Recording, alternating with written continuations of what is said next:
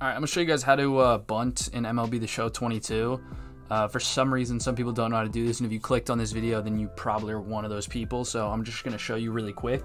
So I'm in an exhibition game. All you do is hold Y, and then you aim it with your right stick. You can feel when you hit your right stick to the right, it aims it to the right.